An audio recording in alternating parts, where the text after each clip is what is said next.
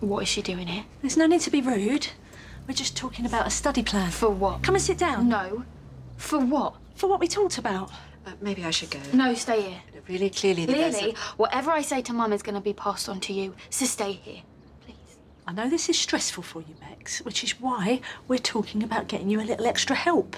For what? There are these entrance exams. I'm not an idiot, Mum. No, no, no, A levels. Oh, for Oxbridge, yeah? Right. So we're talking about getting you some private tuition. Oh, so that's why you're selling your car, is it? No. I don't want to go to university, miss. Is that clear? I don't want to go to university. Now you're just being childish. How is wanting to be in charge of my own future childish? I'm not the one that's going round sticking knives in people. I'm not drinking myself silly. I am telling you, stone cold sober, I know what I want to do with my life. Well, it's just you used to have so much ambition, you know? What's happened to you? Shakil.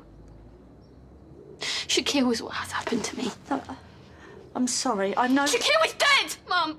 He got stabbed right outside my front door. He don't have a future, so why should I?